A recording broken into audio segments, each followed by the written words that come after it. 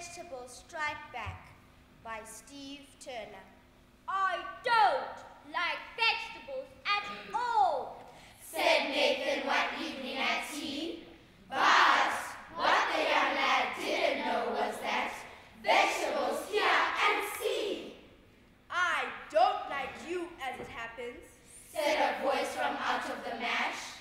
I was a fine young potato until you had me boiled and smashed. Just think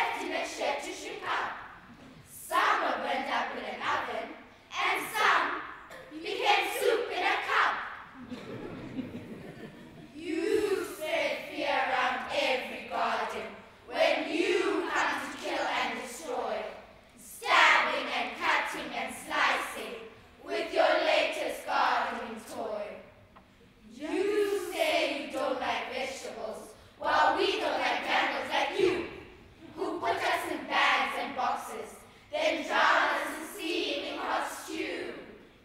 The mouth of the boy fell open. His fork hovered high in the air. His knife was all ready to cut, but now did he?